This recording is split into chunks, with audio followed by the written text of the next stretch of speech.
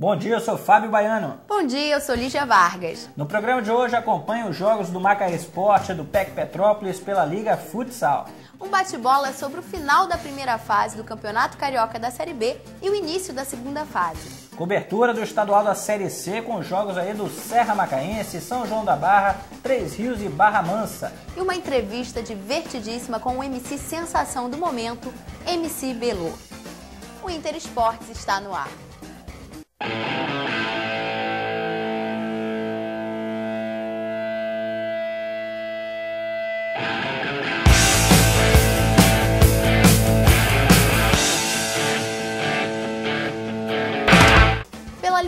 Futsal, sábado passado, o Macaé enfrentou o Unisul e conquistou mais uma vitória dentro de casa.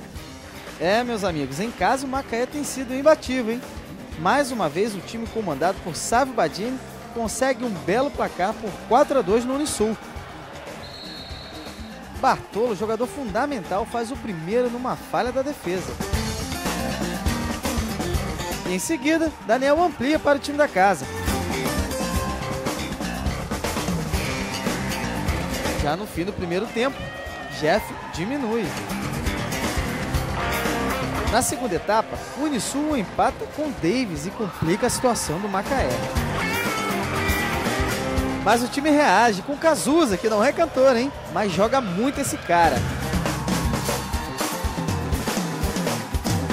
E já no finzinho, para tranquilizar a torcida, o Wilson faz o quarto e dá a vitória tão suada para o time do Macaé.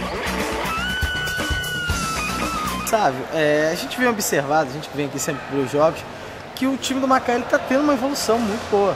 A gente pode observar, a gente está de fora, analisa um pouco melhor esse trabalho e tanto é que em casa a gente não tem perdido mais. Tá faltando é, só buscar esse placar fora de casa.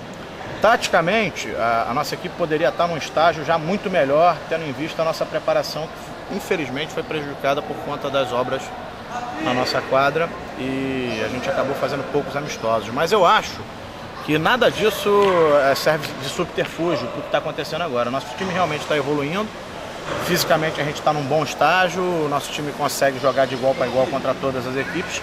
Está faltando mais um pouquinho mais do nosso emocional mais fortalecido para as dificuldades, para o erro. É, e a gente diminuir cada vez, minimizar esse erro e eu acho que com esse pensamento as vitórias fora de casa também virão. Agora com o jogador Wilson que finalizou a partida em 4 a 2 fez uma bela partida. Que jogo difícil, hein, Wilson? Esse time do Unisul foi tão fácil de se vencer não, hein? É verdade, todos os jogos da liga está sendo difícil de se vencer, mas a gente está tendo as condições de os três jogos em casa a gente conseguiu já sair com uma vitória. E todos os jogos da liga é difícil, então a gente tem que agora trabalhar agora bastante para ver se a gente consegue vencer uma partida fora, porque não adianta também só vencer em casa e perder fora. Então, o que, que você acha que está faltando dessa vitória para acontecer fora de casa? Tá faltando é os detalhes que a gente está falhando, que isso aí a gente está trabalhando em cima disso para deixar de falhar para a gente conseguir essa vitória, porque a gente também estamos jogando bem fora, mas no finalzinho a gente está deixando sair essa vitória. Cícero Zaru para o Inter Esportes. Depois de jogar contra o Unisul, conforme essas imagens que nós acabamos de conferir, o Macaé jogou na terça-feira, não foi isso? Jogou Leja Vargas, enfrentou o time do Cortiana no Rio Grande do Sul e conseguiu seu primeiro ponto fora de casa, empatou em 2 a 2 Macaé que joga hoje, né, enfrenta hoje o time do Copa Grill, um dos líderes do campeonato e tenta mais uma vitória dentro de casa. A gente vai ficar na torcida e agora falando de Série B, Fábio Baiano esteve passeando mais uma vez pelo Hotel Comfort passeando não. O Hotel Comfort é maravilhoso, mas estava trabalhando né, aqui pelo Inter Esportes para levar informação para o pessoal de casa, Lígia Vargas. Da próxima vez eu também quero trabalhar no Hotel Comfort, de preferência ali curtindo aquela vista para o mar, tá bom? Ok, vou mandar seu nome pro RH do Comfort, fique tranquilo. bom, mas falando de Série B do Campeonato Carioca, vamos conferir o bate-bola. Ok, Lígia, semana passada terminou a primeira fase do Campeonato Carioca da Série B né, tivemos jogos todos às 3 horas da tarde. Vou passar agora né, os resultados do Grupo A. No Grupo A jogaram Mesquita e CFZ. O CFZ bateu Mesquita por 1 a 0. O Fênix, dentro de casa, perdeu para Portuguesa por 2 a 1. O Cabofrense venceu São Cristóvão por 2 a 0 em São Cristóvão. E o Quissamã bateu por 2 a 0 o time do Nova Iguaçu né, todos os times que jogaram fora de casa venceram, né, e os classificados desse grupo foram os seguintes times. Está na tela aí, né, o Kissamã classificou, o primeiro colocado o Kissamã, está de parabéns aí o time de Kissamã. Fênix também foi, Nova Iguaçu, CFZ e o Cabofriense. São os times classificados à próxima fase. A próxima fase conta aí com 10 equipes, jogando em turno e retorno, né? Para você de casa agora, né, o Wanderson Passos vai falar sobre esse grupo A, sobre a vitória do Cabo Friense, sobre a vitória do Kissamã. Wanderson Passos, muito bom dia, meu amigo. Grupo A foi bem disputado até o final. Né, e a gente tem dois times aí da nossa região, né, o Cabo Friense e o time do Kissamã classificados. O Kissamã lá na frente, o Cabo Friense na última rodada, né? Bota... Bom dia. É, bom dia, né? bom dia pessoal que está assistindo a gente aqui na Band. O mais engraçado é que o Cabo Friense, muitas pessoas davam como que já estava fora. É, né? Correu e pela beirada, né? Correu pela beirada, né? A gente vai falar um, um, pouco mais do Cabo Friense na hora de mostrar os melhores momentos. Mas o Cabo Friense, ele ressuscitou. E na segunda fase, o Cabo Friense, pela vinda do Roy, pela vinda de outros jogadores que estavam no Madureira e hoje compõem o elenco do Cabo Friense, hoje o Cabo Friense é um dos, dos times que podem subir, que tem maiores chances de subir. O time já está acertando, né? O comando do Roy já, já deu uma mudada no time.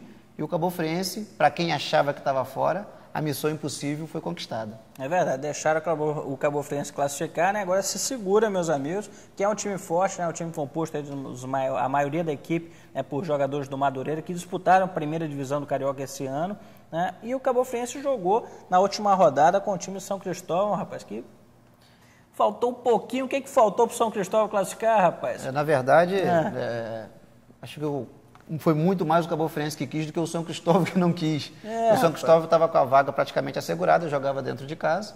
Né? Podia empatar para classificar. Nós temos né? os melhores momentos aí, a gente pode até puxar, né? Vamos fazer o seguinte, vamos ver então, como o Vantos falou, os melhores momentos do jogo do Cabo Friense. Cabo Friense foi a São Cristóvão e venceu por 2 a 0 a equipe local. Tá na tela para você de casa aí os melhores momentos, comentários do Wanderson Passos. Desde o começo do jogo, Fábio, o Cabo Friense tomou a dianteira. O Cabo Friense, a missão do Cabo Friense era o seguinte: tinha que vencer de qualquer maneira.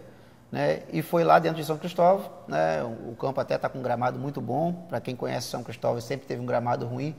Foi excelente para o espetáculo. O tempo inteiro o Cabo Friense dominou o jogo e o Cabo Friense venceu por 2 a 0. Nesses lances aí, já o pênalti, né? O, Gol do Nil, né? Gol do Nil, lateral esquerdo, bateu tranquilo, bola de um lado, goleiro do outro, nem saiu na foto, goleiro de São Cristóvão.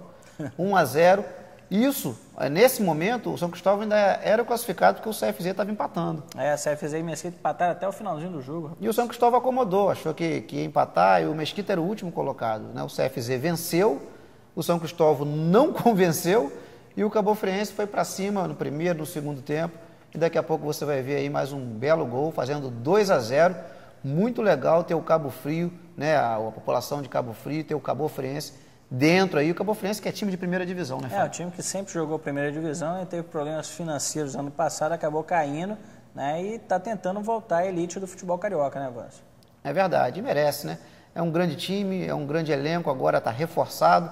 Teve um pouquinho de ciúme lá dos jogadores que, que ficaram, com os jogadores que chegaram, mas o Cabo Friense merece. Aí está o segundo gol né? Gol do Netinho, rapaz, dando, bateu no cantinho lá, bonito gol. Dando rapaz. números finais. A partida acabou frente 2 a 0 no São Cristóvão, muita festa, muita alegria.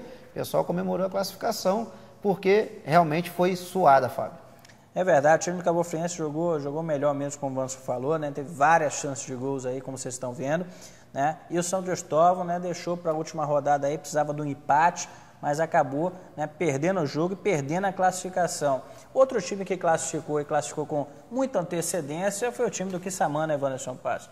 Você acompanhou aí o jogo do Kissamã contra o Nova Iguaçu, né? A vitória também de 2 a 0 fora de casa do Kissamã. Vamos acompanhar os melhores momentos? Vamos acompanhar, a gente comenta então, em cima aí. Tá pode... na tela, meu amigo. Vamos lá. Beleza, o, o Kissamã definiu o jogo no primeiro tempo, né? Muito tranquilo, até porque o Nova Iguaçu também já estava classificado e colocou o time reserva para jogar. O Kissamã também colocou seu time B, apenas com três titulares, e logo, logo o Kissamã fez. Aí já está o primeiro gol, né? um, um golaço, por sinal, de fora da área. O goleiro tentou, mas sem chance de defesa. O Kissamã 1 a 0 jogo muito tranquilo, jogo muito fácil. Né? E o Kissamã, a gente já sabe, fez a melhor campanha na primeira fase e é um dos grandes favoritos, juntamente agora com a Cabo Friense, para classificar. É verdade que o Samanta tem um bom time, né? Você está acompanhando de perto aí o time da, da cidade aqui do Norte Fluminense. O Samanta tem um gol bonito aí, rapaz, de cabeça no cantinho. O Samanta tem um elenco muito bom, né? Você acha que agora na segunda fase tem como aí o Samanta é, continuar com essa força, essa volúpia toda aí para chegar à elite do futebol carioca? Eu acho que o Kissamã, o Cabo Frio e o CFZ são três grandes equipes que vão brigar muito aí pela primeira colocação do, do grupo A. Sendas também é um bom time. Sendas também, é. É, mas Sendas é grupo B, né?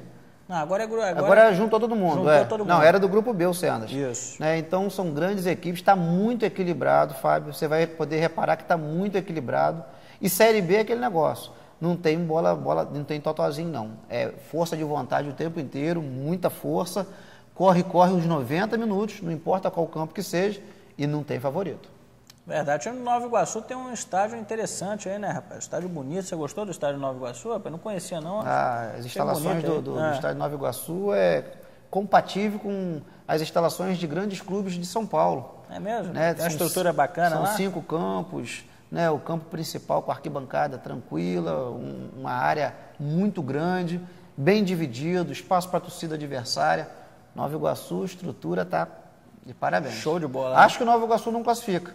Né? Até porque o seu time é muito novo, muito jovem. O, jogador mais velho do Nova Iguaçu tem 24 anos. A média de idade é bem baixa. É, e é o pessoal que dá, muita gente veio dos juniores.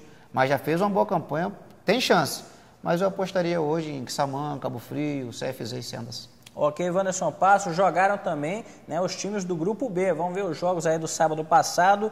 Né, o Sampaio Correia empatou com o Profútil por 1 a 1 né, O Bom Sucesso bateu por 3 a 0 o time do Arte Sul. Itaperuna bateu Sendas por 1 a 0 E o Goitacás, né, um jogo aí épico. Né, o Goitacás venceu Séries fora de casa por 4 a 3 e não classificou. Vamos acompanhar agora os classificados do Grupo B. Né? O Sendas classificou, Bom Sucesso, Sampaio Correia, Itaperuna e Arte Sul. Wanderson Passos, Grupo B, né? o Goitacás, time de Campos, de tanta tradição, não classificou, Vanso. Goitacás, infelizmente, né, o pessoal de Campos está muito triste, até porque a torcida do Goitacás vai aonde o time vai, a torcida vai junto, né, mas vai ter que esperar mais um ano para poder subir. E o Goitacás, infelizmente, a gente repete aqui a notícia, infelizmente está fora, a gente gostaria tanto de ver o time campista aí lutando aí para tentar chegar, mas não deu. Agora, o, a grande surpresa do campeonato no, no, no, no, grupo B é o Sampaio Correia. Tem um time muito ajustadinho. É um time que vai dar trabalho. Para ganhar do Sampaio lá vai dar trabalho. E, e, o Sampaio, quando vier fora, vai fazer bonito. Então, na verdade, o que, que eu posso dizer? Está muito equilibrado, Fábio. É legal de falar, porque é uma Série B que está muito equilibrada. Nós temos aí o Sampaio Correia, temos o, o Sendas e também temos o Itaperuna. Jogar dentro de Itaperuna, Itaperuna é muito quente.